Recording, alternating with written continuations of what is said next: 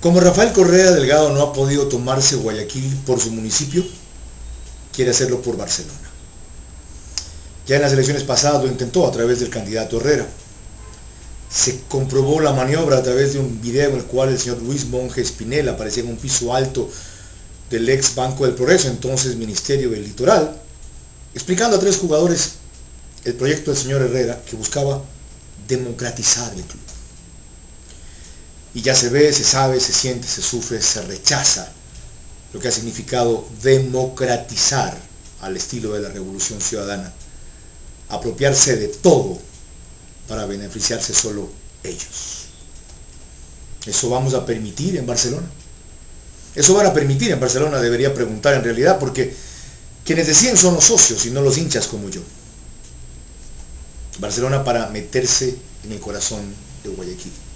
Sí, eso quieren, porque Barcelona está en el corazón de Guayaquil. Y tomarse Guayaquil quieren para acabar con el modelo de progreso en libertad, que les molesta, ya que día a día es una prueba viviente de que el éxito va más por el camino de la economía social de mercado que por el del socialismo del siglo XXI, cuyo milagro duró solo el tiempo que se mantuvo alto el precio del petróleo.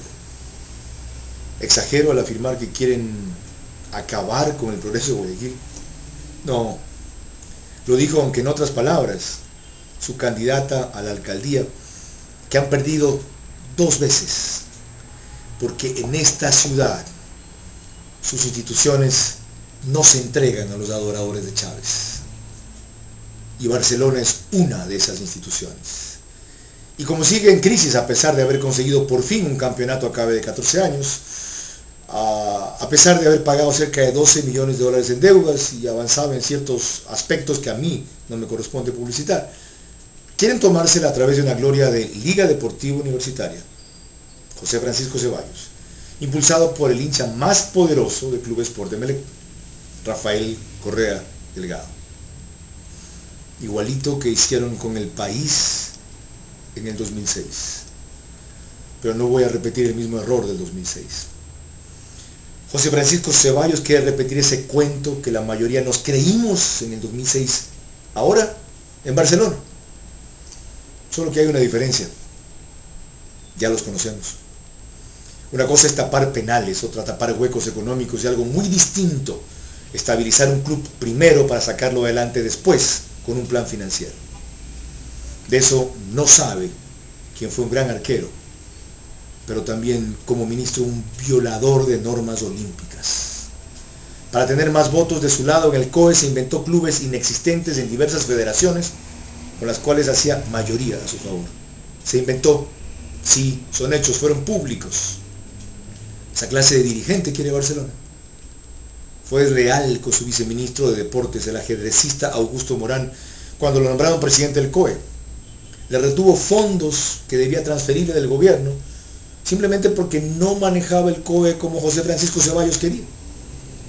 Por eso lo sacaron de ministro. Pero salió, al parecer, en una situación económica bollante, con la cual respaldaría los 12 millones de dólares primero 19 millones de dólares después, que dijo sería el presupuesto anual de Barcelona.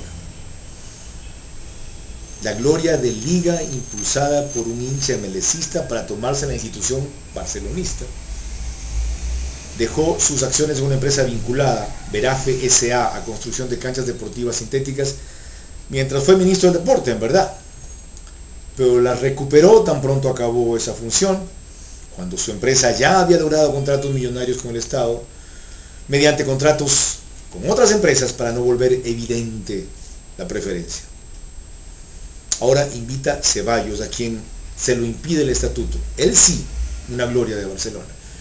Carlos Alfaldo Alejandro Moreno, a integrar su directiva y hacerse cargo de las formativas, violando el artículo 29.9 del estatuto que dice en el tema relativo a disposición estatutaria para ser ministro del directorio, no tener participación o intereses económicos de forma individual o como integrante de sociedades en actividades de representación de deportistas y o entrenadores.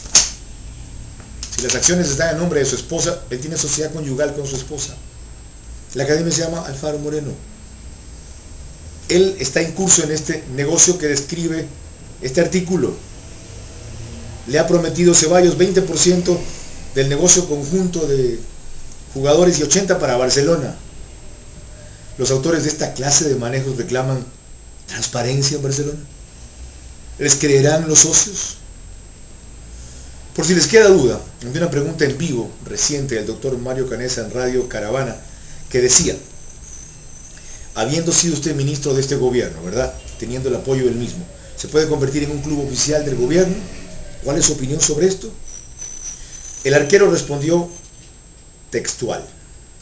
Primero, yo no le voy a cerrar las puertas a ninguna institución pública o privada. El audio, por si acaso, está sin cortes en redes sociales. Lo ven claro entonces, ¿no? Él no descarta injerencia del gobierno cuando debió haberla rechazado de plano, porque proclama sacar la política de Barcelona. Insinúa, sin embargo, que puede contar con apoyo y facilidades del gobierno, de un gobierno que no le puede pagar ni a sus contratistas y le roba sus utilidades a los trabajadores. Ese gobierno inepto y corrupto es el que va a apoyar a su exministro para Barcelona. El Tribunal Electoral de Barcelona, desgraciadamente, no ha descalificado como debía a José Francisco Ceballos y Carlos Alejandro Alfaro Moreno, porque violan los artículos 29.4 y 29.9 respectivamente del estatuto. Ese tribunal convocó elecciones sin depurar el padrón antes, supervisar, dice el estatuto haciéndolo solo después, y eso de un sector al que fue dirigido. Ese tribunal tenía como miembro al abogado Javier Salem, ejecutivo de la Academia Alfaro Moreno. Ese tribunal sirve al correísmo, lo prueban sus actos, no lo digo yo. Son entonces solo los socios ahora quienes pueden impedir la entrega de una institución guayaquileña a quienes detestan a Guayaquil. Soy barcelonista, vivo en Guayaquil, conozco para qué quieren tomarse el club. El único ídolo nacional que tiene el Ecuador está en el corazón de al menos 8 millones de ecuatorianos, al que quieren llegar por Barcelona, pues lo perdieron, lo perdieron en 8 años de fracaso por el país. Dicen que el gobierno no tiene plata y es cierto, si bien no tiene plata para meter en Barcelona, sí puede sacar plata de Barcelona, comercializando su marca, pero para beneficio de quienes se tomen el club. Ya lo vimos con empresas privadas como TC y Gama TV, o públicas como el Banco Nacional de Fomento y la Corporación Financiera Nacional. Ya lo vimos. Entonces, porque Barcelona está en crisis o en una mala situación, da para confiar en quienes puedan llevarla a una coyuntura aún peor. El presidente de Barcelona no puede ser quien dijo, ahora sí estoy en un verdadero club cuando entró a Liga. Quien asusó a la pateadora de sus jugadores durante una gresca en la Casa Blanca. Quien prometió remodelar el Estadio Olímpico Atahualpa con una cuña de televisión pública incluso y maqueta, sin poner un solo ladrillo después. La política está inevitablemente ligada al fútbol, porque significa fama y poder. Algunos políticos fueron los que más lustre dieron a Barcelona. Los que le llevaron a tener un estadio, a ser varias veces campeón, a dos veces finalista de América. Otros nada pudieron. Como en todo, hay buena y mala política. Hay buenos y malos políticos. La experiencia local aquí, y el mejor ejemplo lo constituyen Emelec, Liga e Independiente, y la internacional, demuestran que el éxito se acerca más cuando un club de fútbol es dirigido por empresarios solventes y modernos, competentes y experimentados. Que Barcelona no pase de la crisis al saqueo depende ahora de los socios.